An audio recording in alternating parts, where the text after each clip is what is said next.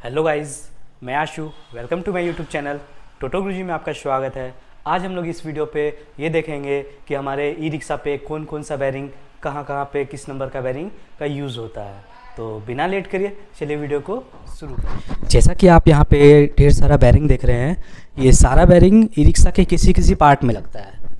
तो आज हम लोग इस वीडियो में ये जानेंगे कि किस नंबर का बैरिंग किस ई रिक्शा के किस पार्ट में लगता है। तो सबसे पहले जो हम लोग जानेंगे, जो रियर एक्सल होता है मीन्स कि ई रिक्शा के पीछे चक्के में जो एक्सल लगता है, उसमें कौन सा बैरिंग लगता है? किस नंबर का बैरिंग लगता है? तो चलिए देखते हैं। पीछे जो लगता है, वो बासठ ज़ीरो पाँच लगता है, ज़्यादातर। अगर किसी का मोटा एक्सल रहता है, साढ़े अठारह इंच का तो उसमें जो है, वो बासठ ज़ीरो छः लगता है।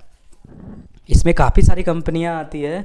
अभी जो मेरे पास है, वो बासठ ज़ीरो पाँच में ट्रिपल नाइन का बैरिंग है, जो कि काफ़ी अच्छा रिस्पॉन्स है इस बैरिंग का।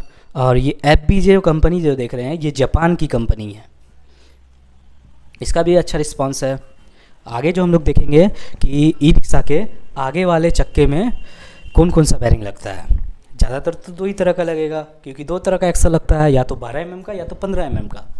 तो चलिए देखते हैं कि 15 एम वाले एक्सल में मीन्स कि मोटे वाले एक्सल में कौन सा बैरिंग लगता है, किस नंबर का बैरिंग लगता है? तो चलिए देखते हैं। ये जो तिरसठ ज़ीरो दो का है, ये एनबीसी का बैरिंग है, ये लगता है। आप किसी भी कंपनी का लगा सकते हैं, लेकिन आपका जो तिरसठ ज़ीरो दो नंबर का बैरिंग होगा, वो लगेगा। और जो बारह एम का एक्सल होता है मीन्स कि पतला एक्सल उसमें जो है, ये तिरसठ ज़ीरो एक का बैरिंग लगेगा।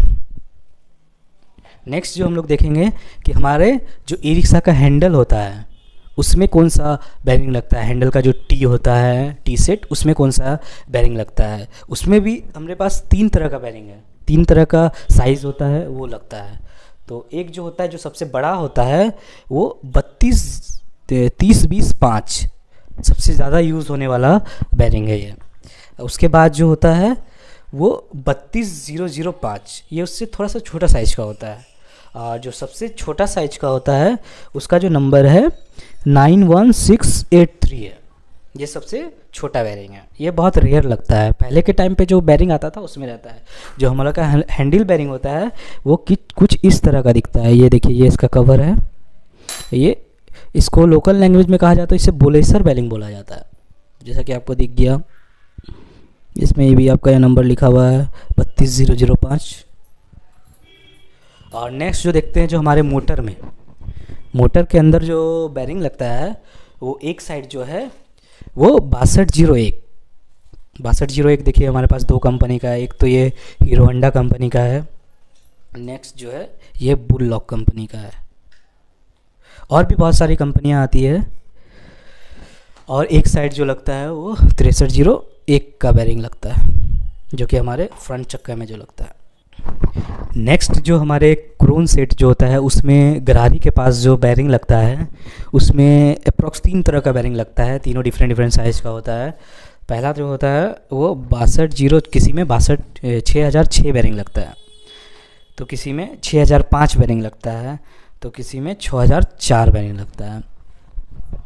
तो इसी तरह हम लोग ने अंदर से ये कुछ ऐसा दिखता है, ये देख लीजिए। इसी तरह अप्रॉक्स हम लोग ने ई रिक्शा में कौन कौन सा बैरिंग कहाँ कहाँ पे लगता है, इसका जानकारी ले लिया। तो वीडियो कैसा लगा कमेंट ज़रूर करें। चैनल पर नए हैं तो सब्सक्राइब करना ना भूलें। इसी तरह का वीडियो आपको इस चैनल पे मिलता रहेगा। तो चैनल को सब्सक्राइब करना ना भूलें। Thank you so much for watching video